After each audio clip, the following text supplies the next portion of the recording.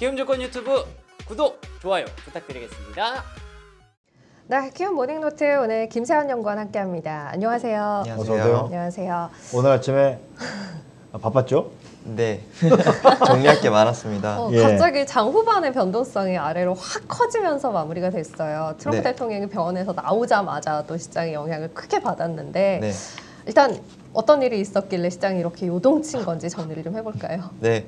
그 S&P 500 지수는 1.4% 하락했고 이 하락폭은 거의 장중 장중 막판에 이렇게 나타났다고 볼 수 있겠습니다. 어, 그 이유는 그 트럼- 트럼프 대통령의 트위트 때문인데 그 트위트가 어떤 내용이 있었냐면 일단 펠로시는 2조 2.4조 달러의 부양책을 원하고 있다. 하지만 우리는 1.6조를 오퍼했다. 이렇게 제의했다. 하지만 어 그래 하지만 민주당은 이- 여기에 대해서 합의를 하고, 하고 어, 원하지 않고 있다. 에, 그래서 협상을 중단한다. 그래서 협상진들에게 그 대선, 이후까지 그 협상을 중단시키고 명- 중단하라고 명령을 했고 그리고 대선 승리 이후에 꼭 큰 부양 정책을 통과할 것으로 약속을 한다. 이런 내용을 하고 어 그래서 이 이 행동에 대해서 그 여러 가지 그, 그 아이디어들이 있습니다. 음. 왜 이랬는지. 네, 네. 음, 그게 중요해요. 음. 네, 그러니까 뭐 뭐래요? 저는 세 가지를 좀 정리했는데 네, 네. 첫 번째로는 가장 그냥 간단하게 이것은 그냥 협상에 대한 어, 전략이다. 음. 예, bluffing, bluffing을 하는 것이다. 네. 진짜 그만둘 음. 생각이 있는 건 아니고. 네, 어, 사실 뭐 이렇게 돼도 저렇게 돼도 상관없는 그런 상황이니까 결국에는 트럼프가 그 이런 제의를 했다라는 게 중요하잖아요. 그 이긴 그 순간에서 대선을 드- 통 들어가는 게 중요한데 이렇게 어 어, 투자 아, 아, 협상하는 그 전략의 음. 일부로 이렇게 세- 생각하는 분들이 있고 네, 네. 그리고 두 번째로는 어, 트럼프가 지속적으로 코로나가 거의 끝나갔다. 그리고 어제는 그 백악관 앞에서 코로, 코로나는 코로나를 두려워하지 말자. 뭐 감기보다 못하더라. 네네. 그러니까 코로나가 못하다. 지속적으로 심각하지 않다는 그러는 스토리를 해, 해왔기 때문에 그 스토리를 그 이어가려면 일, 일맥이 예, 그 맥락이 같으려면 이렇게 이렇게 큰 규모의 부양책을 부양책을 어, 통과하진 아, 하는 게안 좋거든요. 왜냐면 그 흐름이 잘 안 맞으니까 2.2조 2.4조 달러는 좀 큰 규모의 부양 정책이니까요. 음. 아, 별거 아닌 병에 네. 때문에 우리가 이렇게 돈을 써야 되느냐 이 말인가요? 아 맥락이. 네네네네. 네, 그러니까 그 심각하지 저기 않게 보고 코로나는 그래서- 아무것도 아니기 때문에 네. 우리가 코로나 때문에 저기 그 경기 부양을 위해서 큰 돈을 쓸 필요 없다. 점 네. 까지 쓸 필요 그럼 말 되네. 음. 예, 네. 예. 그리고 세 번째 그 주장은 어, 이 그 협상이 아주 오랜 기간 동안 그렇죠. 그 마- 끌어왔죠. 어, 아무 진전이 없었잖아요. 갑자기 그냥 지난주부터 낙관이 좀 확대되는 그런 흐름을 보였는데 어, 그랬기 때문에 약간 시간이 더 줘봤자 대선 앞두고 할 일도 많은데 하- 시간을 더 줘봤자 진전이 없을 것이라고 판단을 하고 더 중요한 일들 예를 들어서 어, 법- 대법관 후보의 지명을 위한 그런 추진을 위해서 더 어, 다른 다른 곳에 다른 할 수 있는 일을 위해서 노력을 조금 집중시키는 거죠. 음, 근데 이제 어, 공교롭게도 어제 이제 그 파월 의장의 발언이 있었잖아요. 네. 예, 파월 의장의 발언은 지금 신속하게 재정 정책을 쓰지 않으면 위험하다. 네. 이렇게 얘기를 해놨는데 트럼프가 저기 그저 협상을 하다 이제 걷어차니까 네. 시장이 굉장히 좀 좀그이 히스테릭한 그런 반응을 보- 보인 것 같아요. 네, 그 미국 증시의 장중 흐름을 보면 그 오전 장 그리고 어그 트위트가 한 4시 쯤에 나왔어요. 네. 그럼 4시 전까지는 0.66% 상승했거든요. 어, 장 초반에는 이렇게 보합권에서 출발하다가 등락을 보이다가 그 오후에는 그 파월의 발언 그리고 펠로시의 발언 때문에 둘 다 낙관적인 발언을 했습니다. 나- 펠로시는 어, 아, 일단 파월 발언부터 해야 되는데 파월 파월은 어, 그만큼 그 시급한 상황이고 즉시 그 재정 부- 정책을 어, 해, 그 이렇게 펼쳐야 된다 이랬고 그리고 펠로시 그 하원 의장은 어것 봐라 그 파월 의장도 그러지 않았냐 그 이 부양 정책은 당장 필요하다 이렇게 말했는데 이렇게 말하면서 기대감이 더 커졌습니다. 그래서 어, 상승폭이 0.2%에서 0.7%까지 이렇게 상승했는데 트럼프의 트위트가 날려하면서 그 기대감과 낙관이 모두 그냥 뻥 터지면서 그러니까. 마이너스 0. 어, 마이너스 1.5%까지 네. 어, 하락하면서 마감했습니다. 음.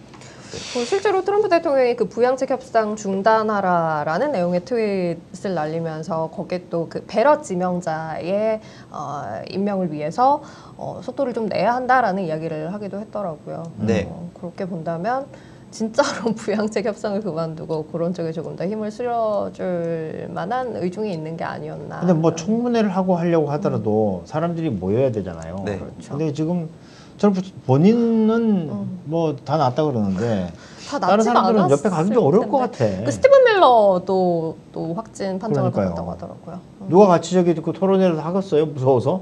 그 토론회는 진행된다고 하더라고요. 왜냐면 음, 15일에 12일이라고 알, 그 네, 알고 아무튼, 있는데 음. 어쨌든 그때 하는데 어 그게 가상 그 온라인으로 그 virtually 이렇게 이루어질 수 있다고 그래요. 이렇게 음. 소, 소식이 나오면서 언택트 방법을 취해야 되겠죠. 네 그래서 그, 그 상원 청문회 거기에 대한 차지는 별로 없을 거라고 의견이 있더라고요. 아 저기 그저 그 대법관 청문회? 네 음, 아니 저 그거 말고 아, 대법관 청문회가 12일이고 네. 그죠? 저희 그 대선 토론, 우리는 토론. 이제 대선 청문회 이사 토론. 아, 그건 15일. 아 네네네 어. 이사 토론. 거 거기는 잘 몰랐습니다. 음, 음. 어찌됐든 어, 그뭐 이 토론이든 저 토론이든 토론이라고 하는 건 사람들이 모여가지고 같이 이제 말을 아, 섞는 어, 그런. 상황인데 그런 것들이 이제 언택트로 저기 그 진행이 될 가능성이 있다. 네. 아, 어찌됐든 간에 통과시키겠다는 그런 얘기네요. 맞아요. 네. 거기에 그 진짜 집중을 하는 것 같아요. 어, 신임 대법관이 예를 들어서 여기 그 저 지명이 되고 음. 그뭐 청문을 청문회 인준을 받으면 제가 볼 때는 주가는 더 변동이 커질 것 같아요. 네. 왜냐면 결국 이제 그걸 그걸 이제 스태핑 스톤으로 해가지고 대선 불복으로 가겠다는 얘기 아니에요, 그렇죠? 대법원까지 끌고 가겠다는 거니까. 야 이거 남의 나라 이야기라서 안 됐다고 할 수도 없고 아무튼 잘 됐어요. 혼란스러워서 잘된참건 아니에요. 야. 저희 시장도 영향을 받잖아요. 힘들어요. 힘들어 정, 정말. 아. 아, 참. 그래도 그, 조금 음. 약간 어, 진전이 있는 네. 긍정적인 소식에 대해서도 하나 한 가지 또 말씀을 아, 드리면 빨리 빨리 얘기해 주세요. 예. 어, 그 대법관의 그 후보가 중요한 게 그 나중에 소송을 걸었을 그러니까요. 때 누가 이겼는지를 그렇죠. 판결하는 사람이기 때문에 그런데 거기까지 안 갈 수도 있다는 그 시장 의견도 커지고 있어요. 왜냐하면 음. 어, 바이든과 트럼프의 지지율 차이가 더 커지고 있기 때문에 음, 어 제가 제가 생각하기에는 그 어, 대선 결과가 한 뭐 확연하게 차이가 있으면 이 대법관 그 소송까지 안 갈 수도 있는데 아예 압승을 해버리면. 네네네 바이든이- 그 압승에 바이든이- 대한 음. blue wave의 시나리오가 좀 더 커지고 있다. 뭐 정확히 몇 퍼센트 차이는 예상 예상할 수는 없겠는데 대충 한 5%로 보이면 되지 않을까요? 그러니까 지금 이제 그 이 우편 투표, 네. 어, 우편 투표는 어, 분명히 저기 그 바이든 지지자들, 그 민주당 지지자들이 더 많이 시- 하고 있어요. 네. 근데 지금 이제 가장 저기 안 좋은 시나리오는 아 그냥 저기 당일 투표에서 트럼프가 이겼어요. 어? 그런데 우편 투표에서 뒤집어지는 거야. 네. 이러면 이제 대선 불복으로 가는 거예요. 그렇죠. 우편 그런데. 당일 투표에서도 바이든이 압도적으로 이기고 어, 그렇게 되면 이제 저기 그 아, 일단은 백악관에 앉아가지고 좀 저기 그 버티긴 하게 농성을 하겠지만 네. 그건 이제 안, 안 내줄 수 없는 그런 상황인데 네. 그 경우가 아니라면 어, 물론 우편 투표에서 이게 그 트럼프가 뒤집을 가능성은 없는 거죠. 네. 어, 그 경우가 아니라면 아, 뭐 저기 그 대선 불복으로 갈 수가 있는데 아무튼 바이든이 좀 아, 힘을 내줘야 되는데 이게 그게 바이든이 힘을 내면 그게 우리한테 좋은 거냐 나쁜 거냐. 그러니까. 그거는 나중에 또 생각해 봐야죠. 그러니까 우리가 혼란을 피하기 위해서 그러니까 뭐 그런 얘기 있잖아요. 저 쓰레기차 피하려다 똥차에 치인다고. 어? 그런 얘기 있잖아요. 이게 지금 어, 시장이 혼란스러운 상황을 벗어나기 위해서 어, 바이든이 됐을 경우에 음. 그럼 그거는 세계 경제라든지 우리한테 좋은 것이냐. 아, 제가 볼 때는 결코 좋을 것 같지 않아요. 왜냐면 오바마 때 저기 그 바이든이 부통령이었잖아요. 네. 그 한반도 문제에 대해서 걔네들은 전략적 인내라고 하는 저기 그 표현을 써가면서 아무 일도 안 냈거든. 우리한테 결코 저기 그 유리한 상황은 아니야. 그래서 참 저한테 투표권이 없는 게 다행이에요.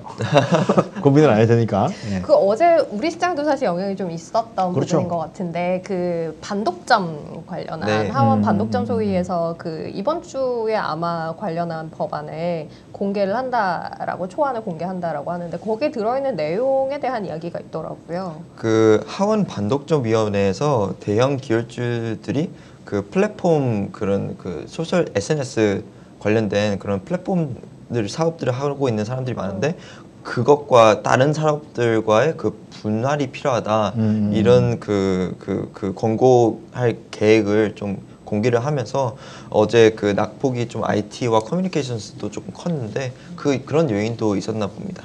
음, 음, 음.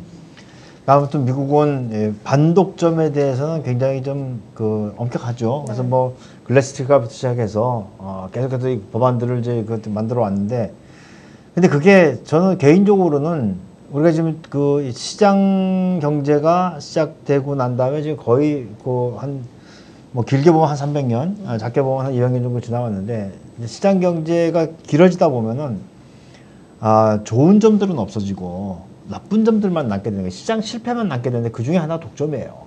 그러니까 지금 이제 그런 시장 실패의 결과로 독점 구조가 만들어졌고, 그러니까 최근에 한 2, 30년은 승자 독식이잖아요. 근데 거기 와가지고 거기다 대놓고 나 니네 저기 반독점이니 뭐 이야기하고 그러면 어?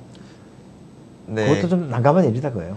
어, 약간 그 여기 반독점에 관련돼서 조금 재미있는 흐름은 네. 어, 일단 시장이 굉장히 낙관적이면 이런 소식들은 다 묻힙니다. 음, 하지만 이렇게 우려감이 좀 높을 때는 투자 심리가 좀 약하고 어, 하락하는 이유를 좀 찾아하는 그런 환경일 때는 이런 요인들이 또 작용을 하더라고요. 음, 그러니까 어 그리고 당장 그 향후 2년 안에 이런 반독점 큰 법안이 이렇게 통과될 가능성은 약간 낮거든요. 음. 왜냐하면 토- 어, 대통령이 누가 되든 트럼프가 되든 바이든이 되든 첫 번째 임무는 경기 회복입니다. 음, 그렇기 때문에 거기에 거기를 위해서 인프라 그리고 뭐 추가 부양 정책 관련된 그 이런 소식도 있고 항공주 뭐 여행 여행 산업부터 이렇게 다시 부추겨야죠.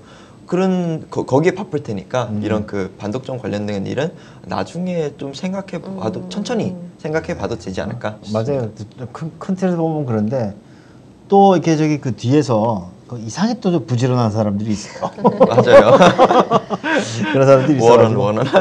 뭐 어쨌든 네. 그래서 이제 기술주의 낙폭은 계속 음, 유지가 음. 됐고 항공주가 좀 많이 빠졌네요. 이것도 네. 트럼프 대통령 트위터 그 얘기 나오고 나서 낙폭이 좀 벌어진 건가요? 음. 네, 그 연초 대비 그런 퍼포먼스를 보면 대부분의 지수들은 상승 전환했고 음. 뭐 나스닥은 뭐 30%까지 상승했었잖아요. 네. 하지만 그 아직도 하락을 하고 있는 그 상승 전하지 못한 업종과 섹터들이 있습니다. 이게 중소형이고 그리고 항공 항공이고 음. 그리고 또 어, 은행입니다. 네. 음. 그 이런 그 은행은 좀 제외하고 그 코로나 관련돼서 굉장히 민감한 업종들이 그 부양 정책에 대해서 더 민감하거든요. 거기에 대한 기대감이 이렇게 차오르고 있, 굉장히 민감하게 이렇게 반응하고 있었는데 거기에 대해서 트럼프가 악재를 이렇게 딱 던지니까 가장 큰 크게 하락할 수밖에 없죠.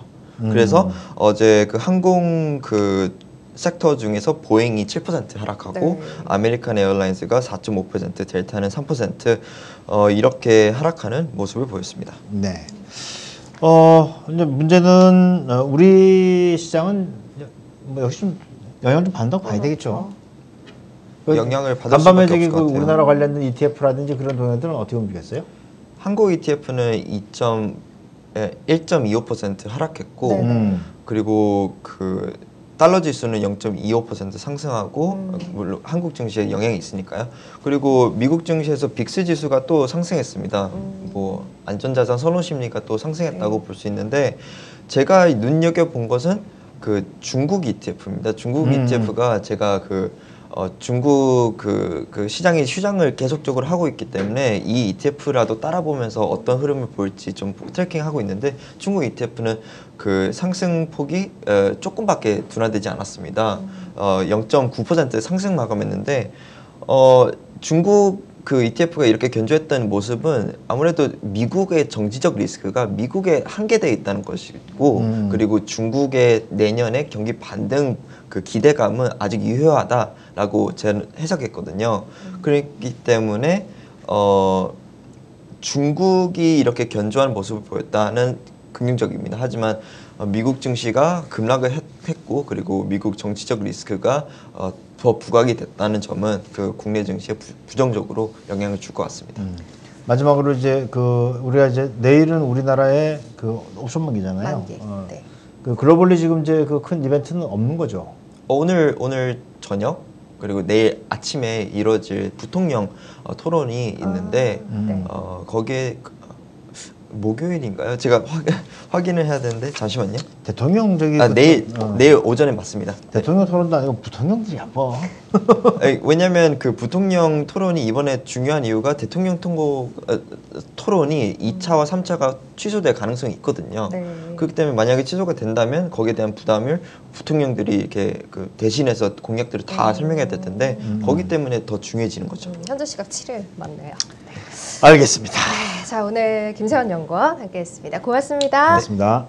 오사카 거래소 오픈 기념 수수료 할인 이벤트. 키움에서 미니 니케이 225 선물 거래하고 수수료는 100엔만 내세요. 해외 선물 옵션 거래 시 원금 초과 손실 가능성에 유의하세요.